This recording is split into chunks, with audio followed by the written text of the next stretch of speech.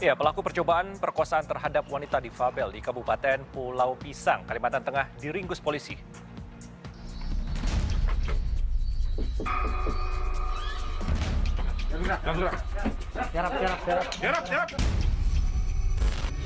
Sungguh tega apa yang dilakukan oleh seorang pria warga desa Sakakajang, Kecamatan Jabiren, Kabupaten Pulang Pisau, Kalimantan Tengah ini.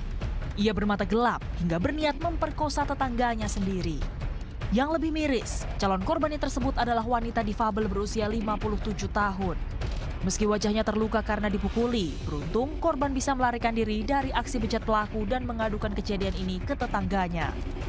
Kemudian mereka pun melaporkan kasus ini ke Polres Pulang Pisau. Polisi bergerak cepat dan menangkap pelaku di rumahnya. terbuka pintu pintu rumahnya.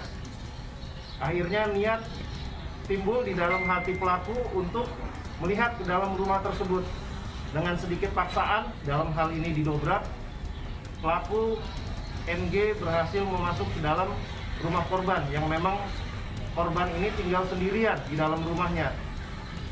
Kemudian timbul niat dari pelaku untuk menyetubuhi, memerkosa korban.